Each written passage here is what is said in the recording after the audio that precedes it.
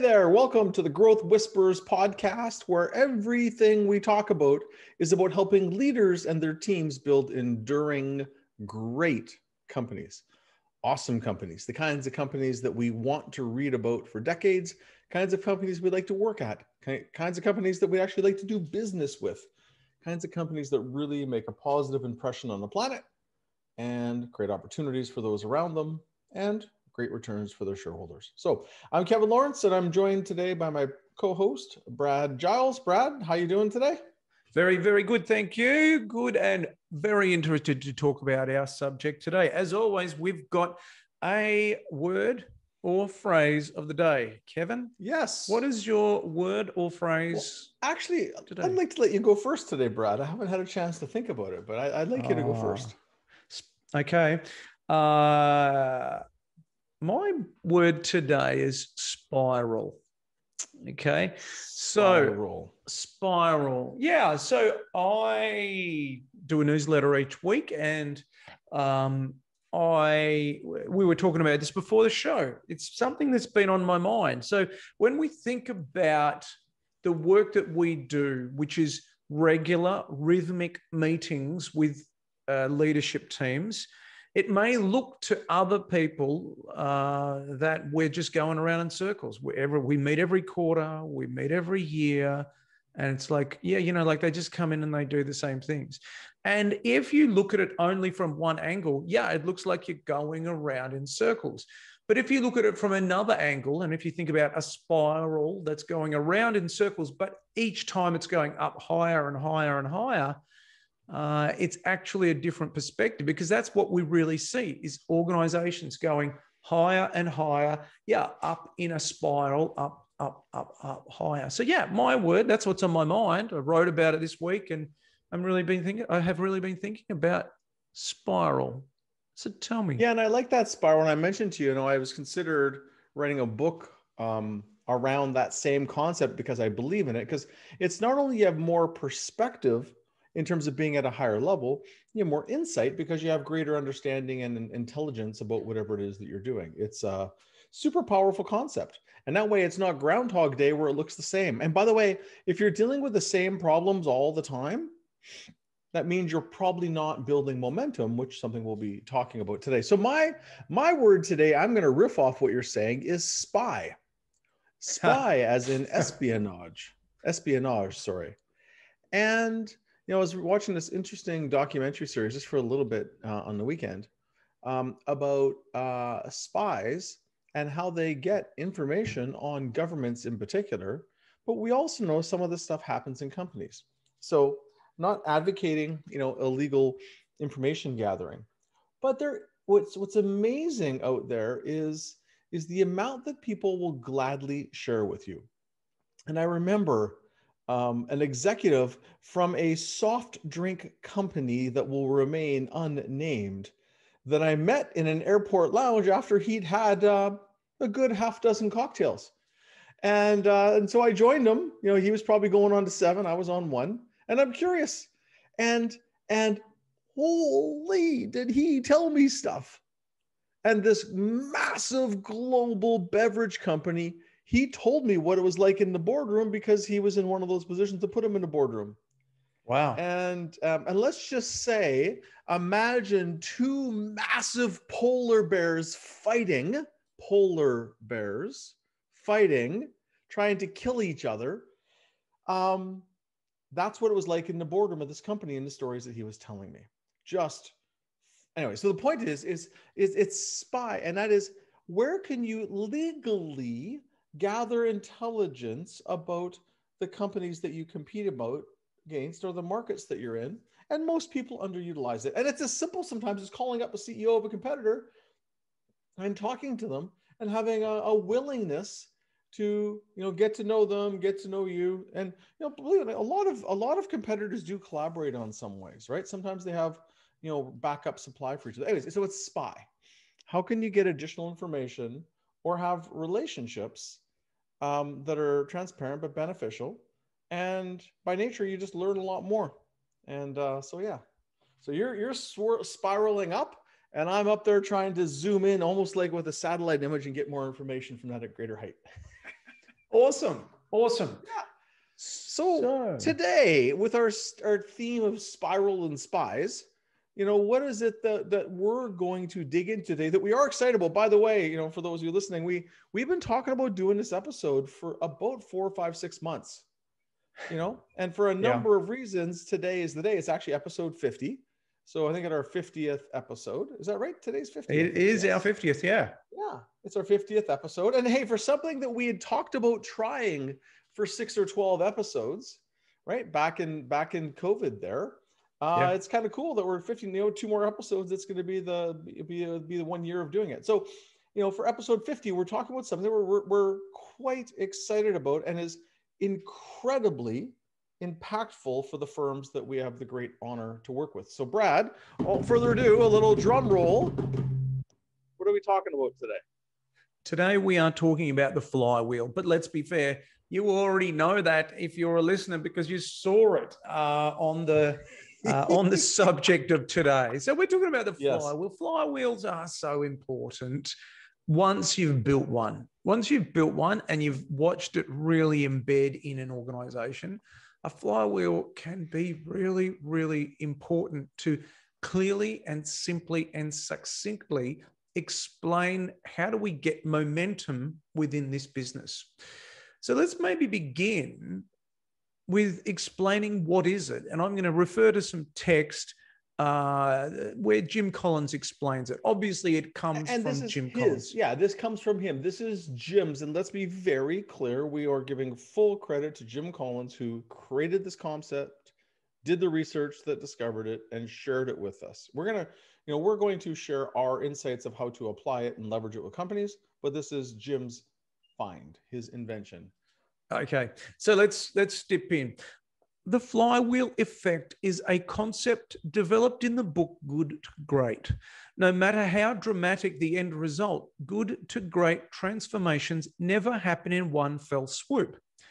In building a great company or social sector enterprise, there is no single defining action, no grand program, no killer innovation, no solitary lucky break, no miracle moment. Rather, the process resembles relentlessly pushing a giant, heavy flywheel, turn upon turn, building momentum until a point of breakthrough and beyond. So that's Jim's definition of the flywheel effect. And then, so the flywheel is a series of uh, actions that a business takes to create momentum. Yeah, and and what I would say, and it's in this book for those of you who see the video. It's from he wrote a separate monograph on this called "Turning the Flywheel," just on this piece. I've got a wonderful signed copy here, which he was nice enough to sign. Um, uh, but you know, in simple terms, I'd put it is it's you know it's how do you build unstoppable momentum in your company? That's the idea, and a lot of companies don't. A lot of companies are a constant grind forever, and there's always stuff to do. But then there's others that spiral up and scale and they build more power and more momentum as they grow. And that's what this is about. So it's about it's about making sure that choices that you make continue to build your momentum, but you got to know what builds momentum first of all. And I'll share an example. Like in our own firm, Brad, we didn't talk about this specifically, but we worked on the flywheel uh, a couple years ago and then really nailed it um, mm, probably just over a year ago with some stuff we did with our team. And then we started paying more attention to it. And, and things have spooled dramatically since that. We just refocused a few things that we were doing because you know we get caught up in being so passionate about what we're doing and excited about it. But sometimes we for, you know we get obsessed with doing great work for our clients, but that alone isn't enough there's other things and it, it kind of brings and, and sews the strategy together and that's really the idea of it is it guides i've written down a note here is it guides strategic focus on the highest value activities and ensures you build self-sustaining momentum over time. That's the idea. So if you've got a business and it's going well but you can't feel the engine of it getting better and self-sustaining over time you probably want to take a look at it And self-sustaining is really a key thing to think about when you think about the momentum. So the the the business is growing. I'm going to say on its own, but but you're making the those key activities work, but that creates self-sustaining growth. It continues to spin faster and faster. So um, the great leaders take it from one turn to 10 turns to a thousand turns to a million turns, and it continues to spin faster and faster. Now, the only way that you can do that is with focus and discipline and understanding mm. these components and not trying to build many different businesses. Um, yes. And making it simple. And, and, and it's fascinating. Um, you know if i if i look at you know clients that we've implemented this in you know sure we've had many many ceos go and spend two days with jim in his lab in boulder and this is one thing he talked about you know with intensity and passion uh, a lot and every single client came out with this as a homework piece and we've since implemented it probably over five years in lots of companies. And you know what's interesting one of them that we did it in we were, i remember we were sitting in a meeting down in los angeles beautiful day. We're up on a, a rooftop deck, and it was spectacular, as, as good as a day in LA can get, um, close to the beach. It was all, it was awesome. But we're going through and identifying the flywheel because the company got in trouble, and they brought me in when the company got in trouble. And so we're sitting there and we're going through the flywheel. We figured out their flywheel, hmm. and then we went and rated how strong each of the areas were and the look that the CEO had was almost horrified. And I could feel the feeling in their body, and it was gut wrenching because the second or third thing on the flywheel was they rated it at a three out of 10. Yeah. Then they went through and looked at where they had spent money in the last two or three years and it was like a one out of 10. They looked at where they had hired people on the flywheel proportionally. It was like a zero out of 10.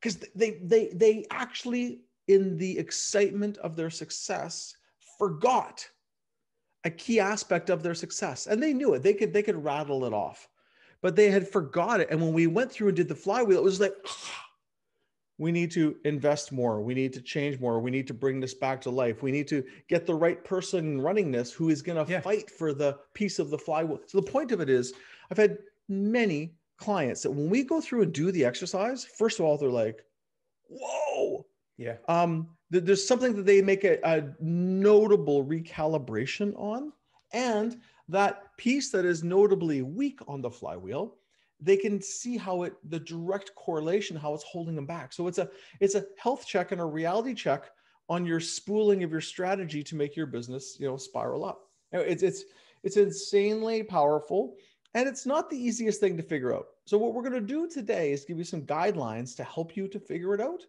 so that you can get the benefit of having it and then making it part of your reality check that you do every quarter and every year.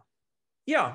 Um, and so I guess before we jump in further, we've we've explained what a hedgehog concept is, but I'd like to also just explain uh, what sorry what a flywheel is. I'd like to also explain what a hedgehog is and what a SMAC recipe is because we're going to yes. talk about those things a little bit later on. So let's begin with a hedgehog concept is a simple crystalline concept that flows from a deep understanding about the intersection. Think about three circles intersecting in the center of Venn diagram, the intersection of purpose or core purpose, um, what a company can be best at, and a company's profit per X or single economic denominator. Then that so that's the hedgehog concept. Okay, we've spoken about that before on this podcast. Now, a SMAC recipe, that's the code for translating. And before you oh, yeah. finish, the, the, hedgehog is just a simple way to articulate what your business is about. And, you yeah. know, what's, you know, best in the world, uh, passionate about, and what makes your money. Those three things, the center of which sits your BHAG, your big, hairy, audacious goal that you want to achieve over the next 10 or 30 years. So that that is a core central basic piece and understanding. It's kind of like you know who we are and what are we about in, in simple terms. So that's the hedgehog. And then we move on yeah. to what we call the SMAC recipe. So that's short for specific, methodical, and consistent. So this is again about discipline. So a SMAC recipe is the code for translating a high level hedgehog concept into specific action and for keeping an organization focused in the same direction, thereby building flywheel momentum. So, again, it's about keeping the organization focused in the same direction. So, the more that we can not get distracted, the more yes. that we can maintain focus in the right direction, understanding the components that make up the flywheel, the more that we can build that flywheel momentum. Yeah. And that's at the root of most strategies is to stay focused on the most highly impactful activities. And as companies grow, they get diluted by interesting creative ideas and basically dilute their force. And it's no different than if you have um, uh, a bullet you want to shoot at a target or an arrow you want to shoot at a target. When you shoot it, if it splits off into 100 pieces, it's not going to have the same impact versus one single projectile hitting a target is going to have more impact versus it kind of spraying and it's we want to keep the impact behind our actions that is the idea and again these are things to help us so with a hedgehog in mind and I even you know when we do it with clients we even put the hedgehog in the middle and the flywheel around it, right? And you know, as we're talking about the SMAC, there's probably a visual way to integrate the SMAC uh, as as part of it to help stay focused. So, and yeah, I think that's that's a. Go ahead. So Brad. here's the crazy, crazy thing, right? You already, if you're listening to this, you already have a flywheel. Yeah, it's it already there. Suck it just might be a bad one. it's like you already have a great idea, but it might be buried in the back of your brain, mixed in with the bad ideas. But but yeah. there is there is brilliant ideas in all of our brains, but sometimes they get lost. Yeah, and the thing is is that we are not making a flywheel okay? We are discovering a flywheel and it's such yes. a different it's such a different way to think about it. It's already unless there. you're a startup and you're trying you don't even know which way is up yet and what your business model is. But but with this you know most of the companies aren't, aren't pure startups. But if you've been around and already had some good success there is a version of a flywheel. Now it might be a weak flywheel or it might have weakened or it might be awesome but it's discovery to get clarity so that you can use decisions that constantly enhance it. So yeah, you already got one. It just it might be a positive one, it might be neutral, and it might be a negative flywheel, which Collins calls the doom loop in his work. Yeah, so let's go back to the spiral. You can have spirals which are going upwards, which is not the best analogy, uh, but spirals that are going upwards and creating more momentum, or you can have ones that are going down and then they're the doom loop. So you can have positive or negative flywheels. Um, the thing the thing with it is that it's already there. Every business already has a flywheel, but most of the time they're not focused on it and they're not they're, they're distracted and the absence of discipline around the flywheel means that they're, they're not seeing anywhere near the kind of effort that they could right so in one of the companies that that we work with um, uh, the ceo came out of jim's session he figures when he sold the company it added 20% no more than 20% to the value of the organization because we could articulate the flywheel and he yep. sold it for a big number. So that was a big value. Like he, yeah, yeah. Uh, we won't need to get into specifics there. But but the interesting thing is is that everything that we did, if it didn't line up to the flywheel, we didn't do it. All of yeah. our acquisition targets had to enhance the flywheel, and if and me even if they didn't fit within the flywheel, we wouldn't do them. There was one that slipped through that was a bad choice, but acquisition targets, everything went back to the flywheel. Flywheel. Interestingly, when that CEO would address the company as he did on a fairly regular basis and the leaders, what he talked about was aside from the, the, the culture, you know, the purpose and the values was a flywheel and a hedgehog again and again and again. It, it was it, for him. It was the most important thing because if we improve this thing, the whole machine improves. And uh, you know what? I reckon yeah. that everybody in that organization would have understood the flywheel and they would have understood. Oh my gosh, that was so simple. It was so simple. That's the thing. Strategy, everyone tries to make strategy more complex than it should be. Okay. Because they don't know what they're doing. If your strategy is complicated, it means you don't understand it. It should be able to make sense to a 10 year old kid. The best strategies are so basic, except for the ones that are complicated, but those usually aren't the best ones. Yeah. Now, and it's not that a, a mad, brilliant, crazy, spectacular scientist couldn't come up with potentially a better strategy. But if it's super complicated and intricate, even though it could be better, it's yeah. almost impossible to execute. Yeah. So a simplified version and, and simplifying, you know, simply is, you know, my generally mastery. My, as you know, my one of my favorite quotes is attributed to Mark Twain, may or may not have actually been him, but uh, we'll go with Mark Twain today. And it's, you know, I would have written you a shorter letter, but I didn't have the time right? It's hard to be simple and succinct. And simply is simplicity is mastery. Yeah. But but you know, you can't scale something that isn't insanely simple and easy to understand. It doesn't scale. Yeah. And so for that leader in that example, many times, I'm going to say every time, many times when he's communicating to the staff what he's doing is reinforcing what's most important because people respect what you inspect, right? So if the most important thing is, right, this is our hedgehog and this is our flywheel and this is how they work together, it's everyone gets it. Everyone knows what the most important things are. Yes. Um, as long as you keep reminding them. yeah, of course. The, but that's the job of or part of one of the key jobs of the leader is to keep reminding yes. them. So yes. I want to give a, a quick example of a flywheel, which is Amazon.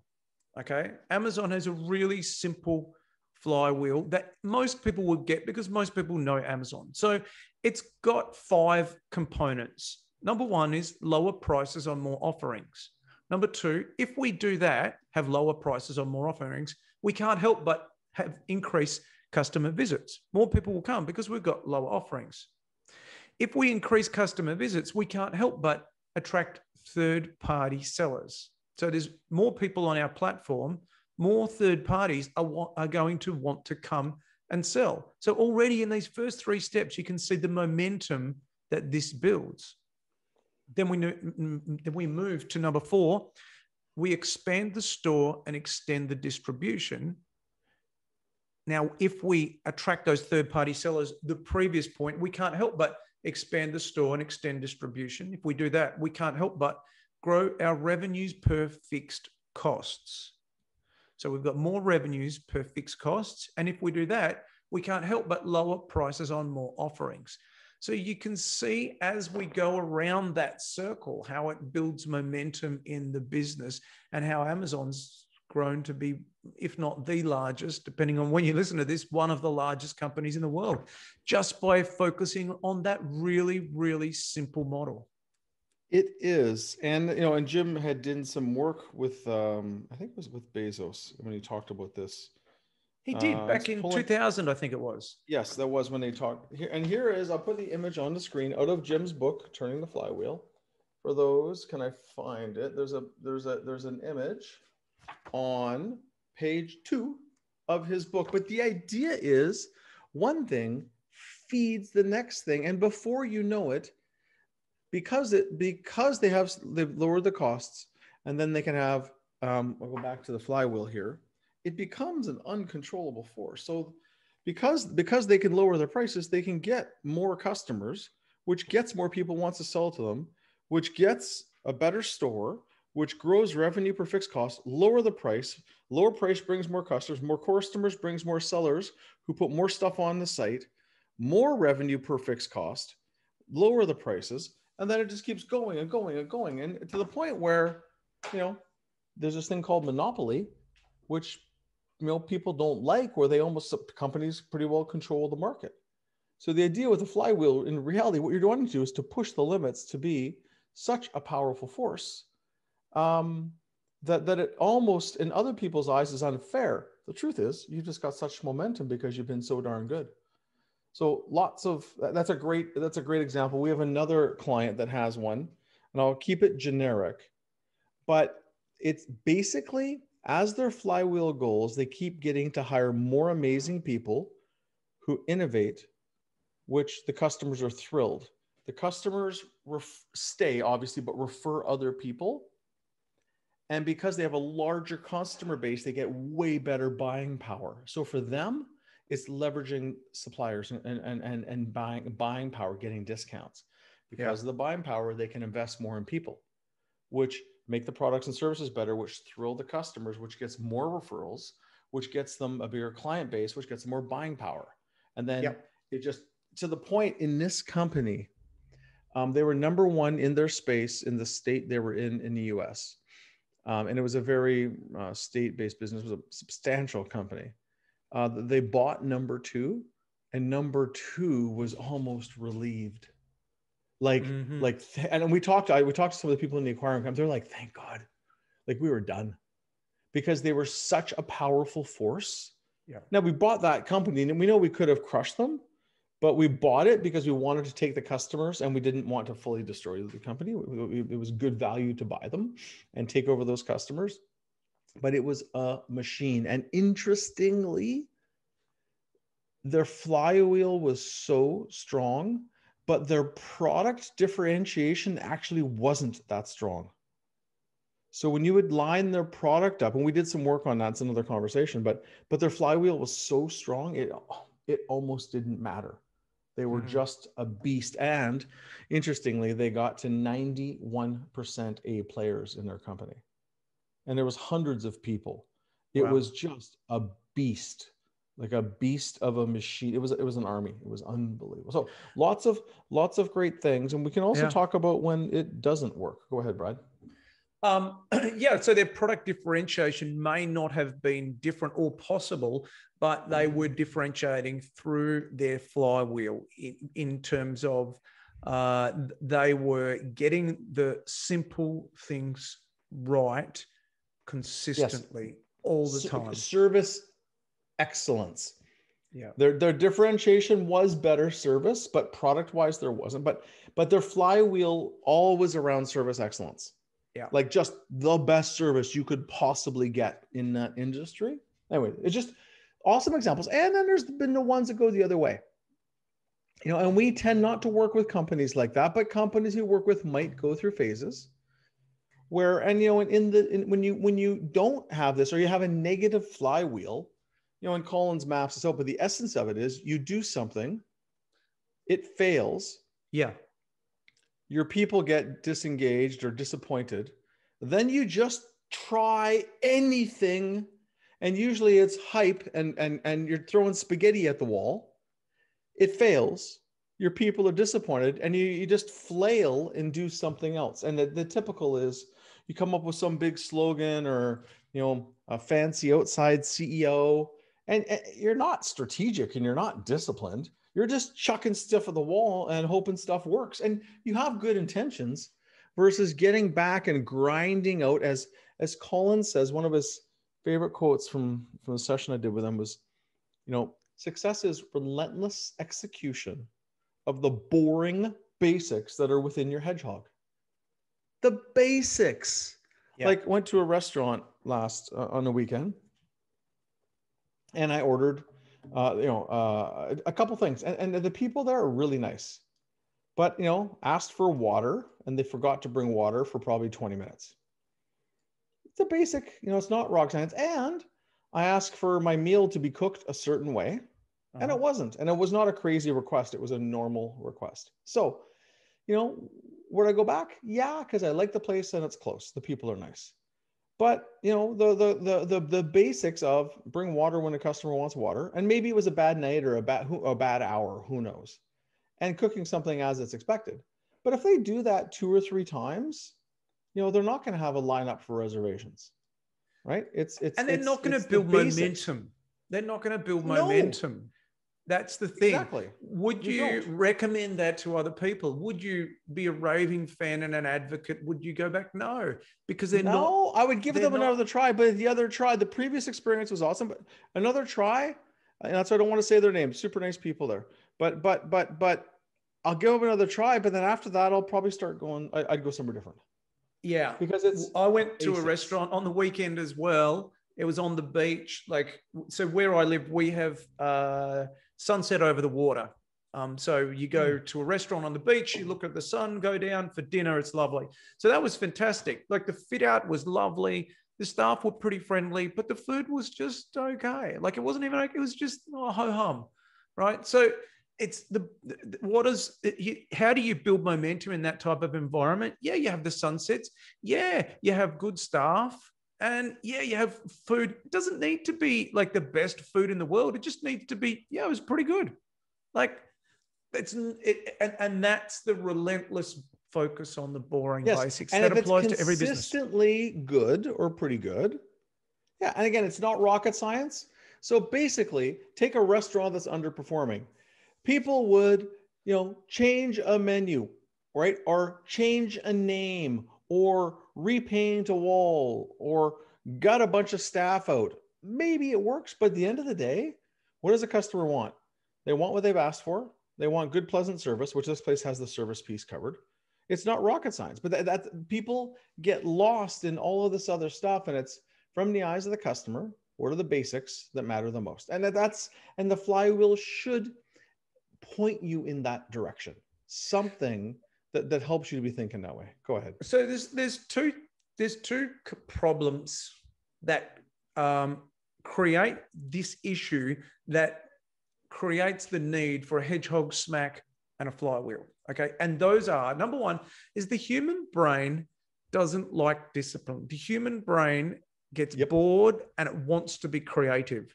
It yep. really wants to do new and exciting things.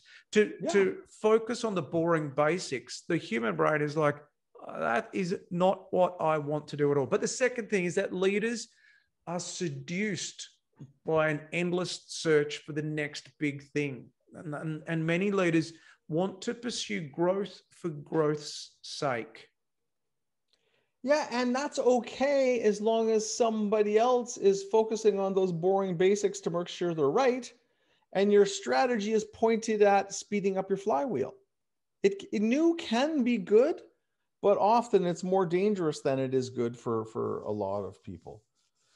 Well, it's so, not growth for growth's sake. I, I often no, say to people it's growth to become a better organization and better take care of your customers or your employees yeah. But quality growth, not just growth, because otherwise you fall on your face. Yeah. So and so how, you go. Yeah, I was just gonna say, look. So how do you do it? You know, and you know, we talked about starting with a hedgehog and you know, in a SMAC list, but you just go through and try and unpack, and sometimes you have to go back five years in the business. What is it that drives this thing? What is it? And you know, and it's as simple as a brainstorm of trying to map out pieces. We like to get people sit on your own and think about it, and then let's work on it as a group. What is it that drives this business? And the question is, you know, um, what is the language that Jim uses? Uh, because of which we but. can't help but can't help but. Yeah. So, for example, this other company we talked about, because we provide outstanding service experience to our customer, we can't help but retain them and get referrals. Because we retain them and, and, and, and, and get referrals, we can't help but grow the total number of users in our system. Because we have a, a, a massive increase on our total number of users, we can't help but leverage that for better buying power with our suppliers. Because we, we have better buying power and save that money, we can't help but but be able to invest in more amazing people. Because it, so it's we can't help but and really one thing really specifically driving the next. Now it's, it's it, like we can't give you a paint by number. It's a it's a discussion. Sometimes you do one you throw it away you try again you try from three or four different perspectives. You know, sometimes there's one that's a customer oriented flywheel. Sometimes a product or R and D flywheel, like uh, like Intel's example. Um, sometimes it's an employee oriented flywheel, and I'm sure there's many different types. But it's it's to start mapping it out, and because and by the time you end up with four, five, six things that really drive in, into a continuous loop like a flywheel that spins spools up. But it's already there.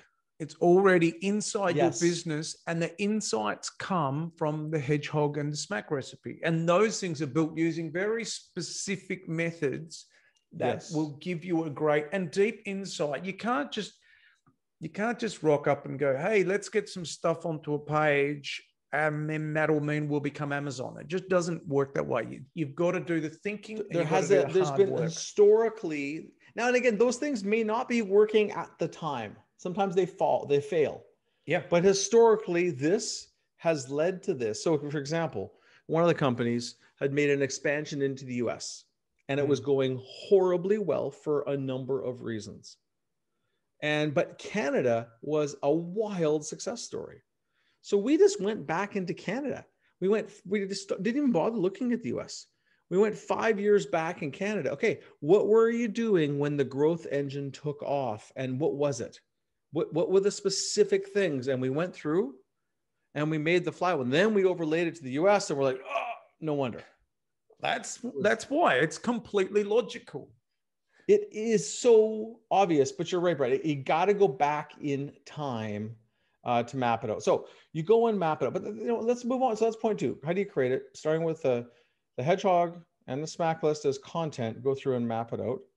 And then number, go ahead, Brad. You got something you want to add there? And so how many fly, this is a great mistake that I've seen. How many flywheels should an organization have?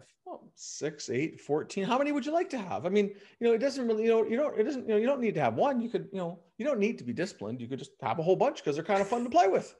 You know, just heck, you know, you could also have 27 goals uh, per person per quarter. I mean, why wouldn't you have more the better, more the merrier? That's a better party having 27 instead of seven, isn't it? Yeah, and that's cool because then we'll get more stuff done if we have 27 goals. Totally. So, we get 27 times the thing done. If we have 27 goals and 14 flywheels, and we you know we should have like at least a dozen core values. And while we're at it, mm. we should probably have seven different names for the company. That's, you know. So, for those of you who may not have picked up, there's a, an, an uh, a blanket of sarcasm that's just fallen over us. Let's remove that and come back and shake that blanket off. Uh, no, what we're saying is you should have one flywheel for each CEO one flywheel for each CEO. And, and why is that? Because you may have multiple profit and loss and balance sheets in an organization, okay? But you're probably only going to have one CEO. And so I think about one organization that I work with, and they've got two distinct divisions that work with different types of customers. Okay, one's more of a more of a, let's say, a smaller customer. The other one's a much larger customer. But we've got a central flywheel that works across the, the entire CEO's oversight. Then there's another business, and they, yeah, they have got three different um, three different areas in which they operate. They're all in the same industry, but three completely different areas one CEO, and all of those, they have the same flywheel. So, because sometimes the energy of the CEO, you want it all to be going in the same way, as you mentioned earlier with your friend, who, your friend, your colleague, your associate, who um, comes out, talks about the flywheel and the hedgehog relentlessly. Yep. Um, one central point of focus per CEO.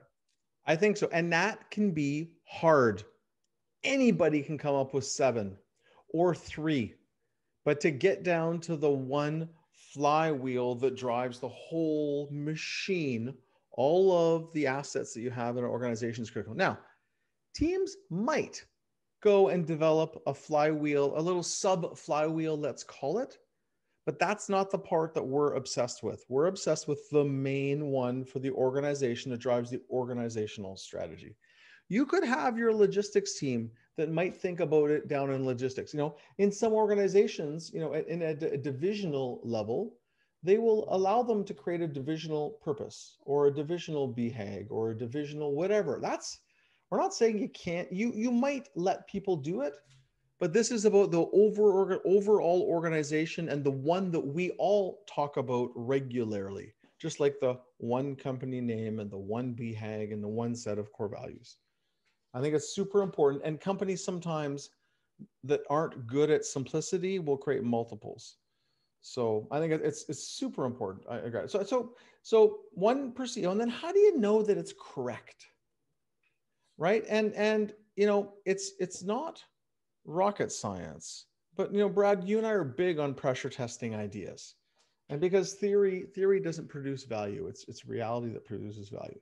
So the one that the simple pressure test is going through and saying, does this directly drive this? Or because of this, is it true that we can't help but get the next one? Um, the second is to go through and look at some of your biggest periods of success or divisions or parts of your business that have had massive success or massive failure. And go and then pressure test. So, was there something in here that was actually critical to our success when we did well? And was there something in this that broke that, that was a that was critical to our failure? that's another that's another way of pressure testing it to make sure that you absolutely got it yeah does it explain your failures and successes or your successes and disappointments that's the that's the simplest test when you look through those 3 to 6 uh, items, can you say, yeah, well, when we uh, launched in this market, or when we did that, or when we did that, like that absolutely succeeded because of that, or that absolutely failed because of that. Yeah. So, so that's the simplest way to validate it. It's correct. There's no, there's no enormous um, diagnostic that you need to take. Just ask. Can yeah, we explain our successes and disappointments? Yep, exactly. Now, now that we've so we've we've gone through and we know what it is, we're pushing towards positive. We've drafted it, we've validated it's correct. We know we've only got one. How do you speed this thing up? And this seems basic, right? But but it's like, what are the things that actually speed it up? And and you know, hold on to your hat. This is rocket science here, but it's you literally make sure that your major goals relate to an area of the flywheel right? Now, if you've evaluated yourself and you have one area that's really low, like that client I talked to you about when we had the meeting in California, you better make darn sure you fix that because that will, every time the flywheel spins, that one area, it's going to slow down because it's a weak spot.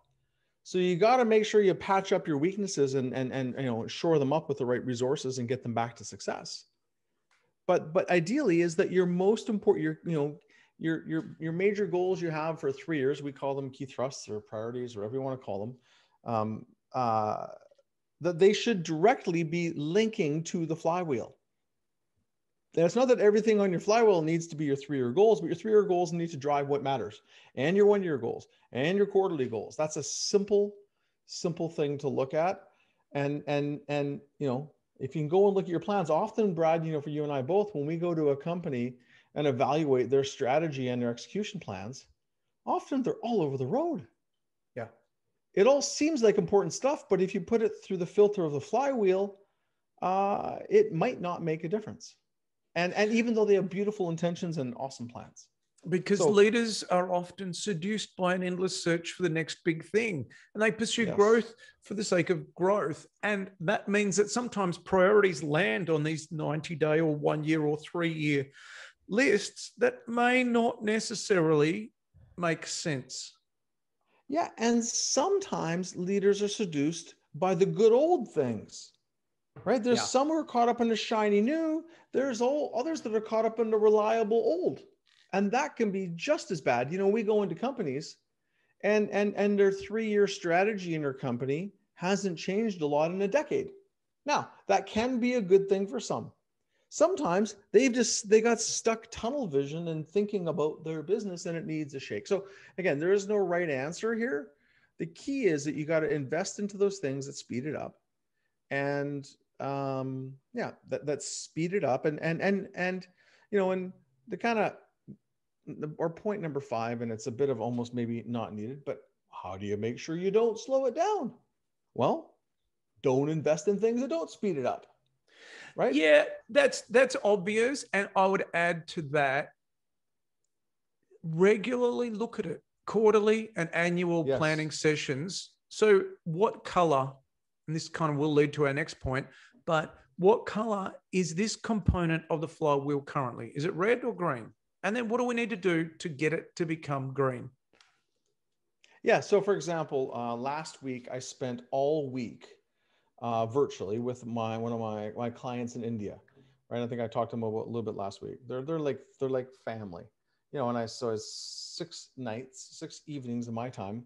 And one of our things that we did with the with the three directors that run the three brothers is we go through and evaluate the flywheel. Where are we at? How are we doing on the different pieces?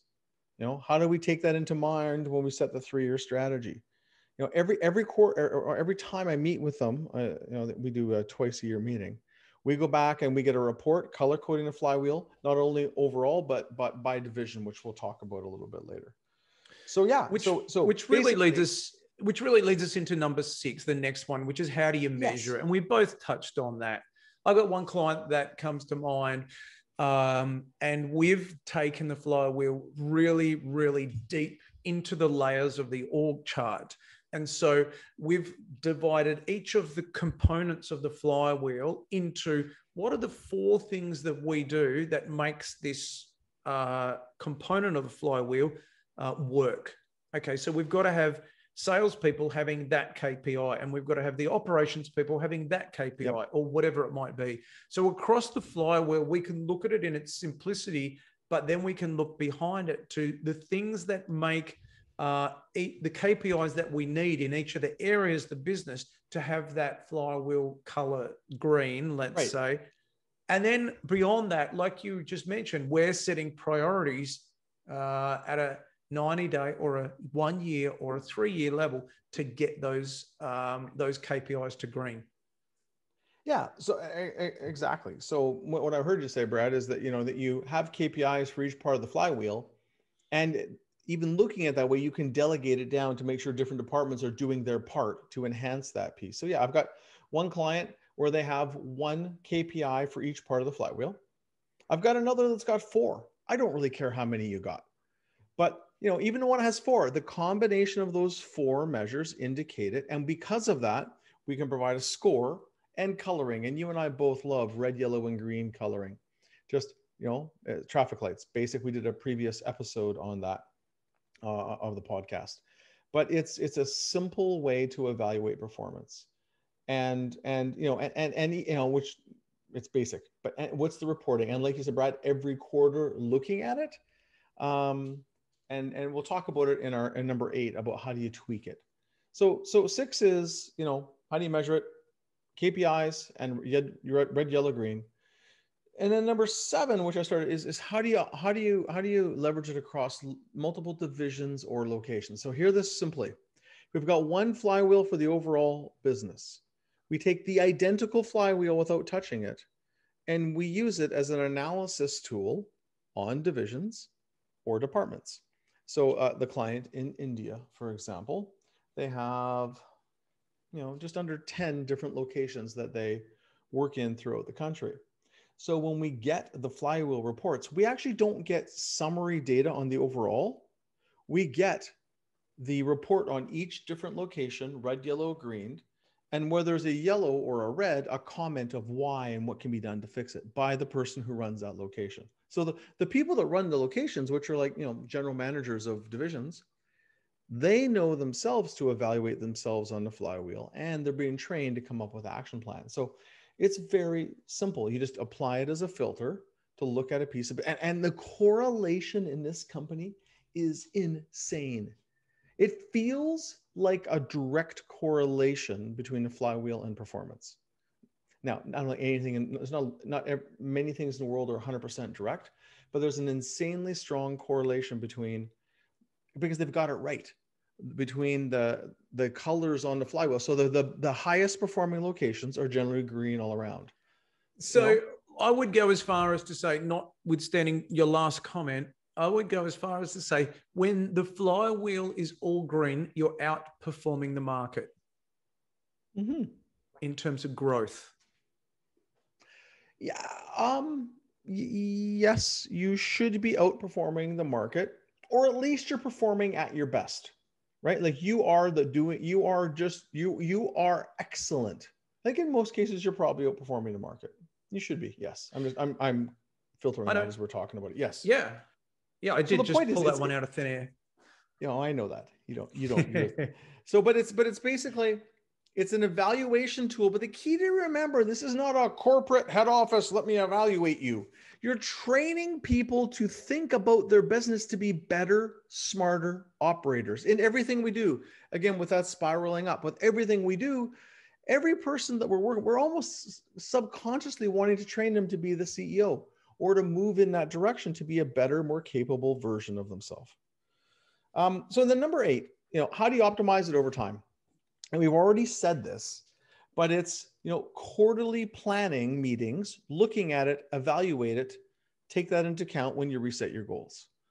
Uh, annual planning to go really look at it and say, would we change something? Like I'm a big believer in once you lock down any strategic principle, you shouldn't debate it throughout the year unless something's really gone wrong. Hmm. You should drop into execution mode, execute like crazy, and then when you decide it's time, then there's a period where you evaluate. And whether it's at a, a six month mark in the year where the, the executive goes off and works on strategy, which some clients do, or it's at the annual planning meeting, it doesn't matter when it is. But in those quarterlies, you know, staying in execution mode and then evaluate strategically whenever you do it. And ask, have we had any failures in the last year or quarter, but year? And does is that explained by our flywheel? Because sometimes yes. not adhering to the flywheel means that you will experience a failure. But yes. you know like i go back to the spiral at the beginning of this episode. We're getting a deeper understanding over the years of our flywheel deeper understanding deeper understanding. And so that regular rhythm and checking in makes a huge huge difference. Yep I agree. And the thing I'd really want people to understand, Brad, is look, our role is to help facilitate companies that want to build enduring great companies and continue that growth path and get bigger and better continually. That's their that's their their goals and that's what we do.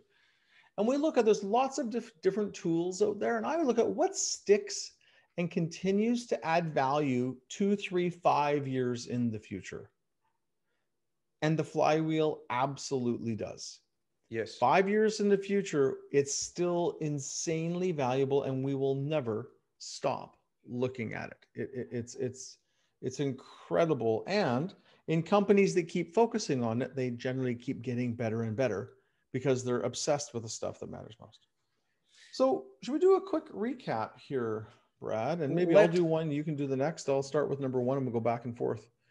So Sounds like a plan. Number one point to remember is, you know, you've already got a flywheel, and either it's a positive flywheel that's spiraling you up, or you could have a doom loop that keeps knocking you down. And yeah, that's that's the first thing to remember. It's already there, and our job is to discover it.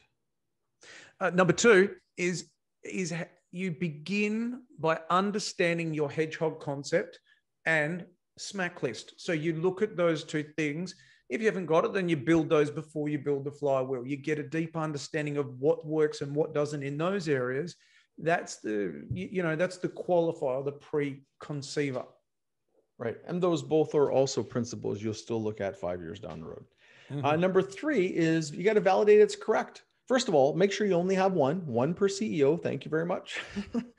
um, but but each piece should drive the next piece, and you should be able to say because of this, we can't help but as it drives to the next piece.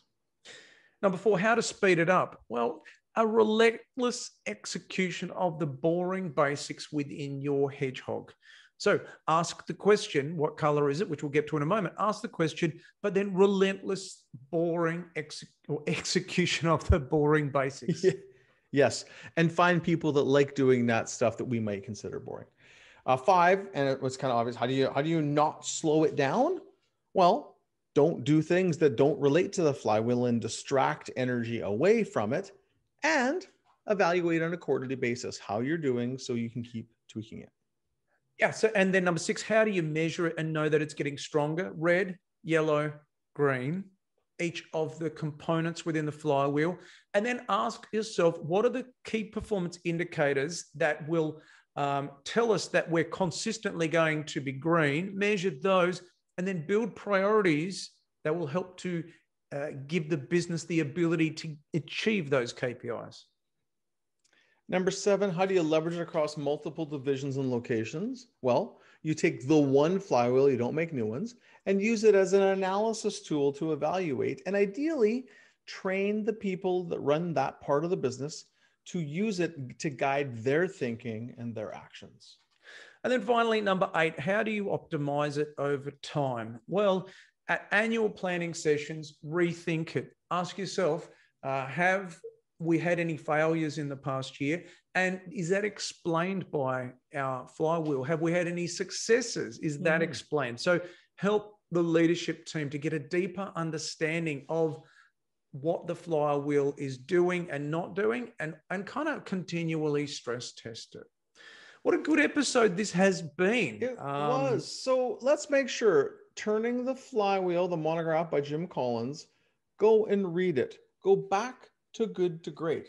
And by the way, if you happen to be in one of those doom loops, go back to what used to be my favorite of all Jim's books, How the Mighty Fall. This is about the doom loop, about companies that make bad choices and stay in a negative downward spiral, um, often until they either straighten themselves out with relentless execution of the boring basics uh, or they get bought.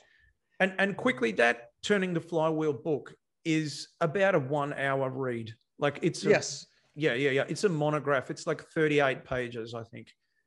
Um, I think so yeah, you're you're such a precise brain. It's actually thirty seven and then notes. Yeah. So yeah. So um, it's a very it's, easy read. You can see it's very thin. You can you can probably read it before your plane takes off if you're one of those people that's back to traveling.